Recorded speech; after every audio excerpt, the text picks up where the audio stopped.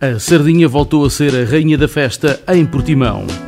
Para além de provarem a famosa sardinha assada, os visitantes puderam usufruir de várias propostas para toda a família, que o evento proporcionou durante cinco dias. Um dos pontos fortes foi a inauguração da iluminação da ponte ferroviária com o símbolo do Festival da Sardinha. O característico aroma da sardinha assada que se fez sentir junto à antiga lota atraiu milhares de pessoas. A sardinha comeu-se no pão ou no prato, sendo que os não apreciadores tiveram ao seu dispor diversos menus de petiscos regionais.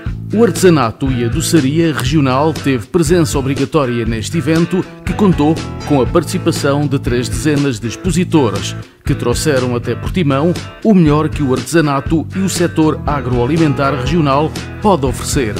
O cartaz musical contou com Matias Damásio, tributo total aos chutos e pontapés, Raquel Tavares, Ana Bacalhau e The Black Mamba.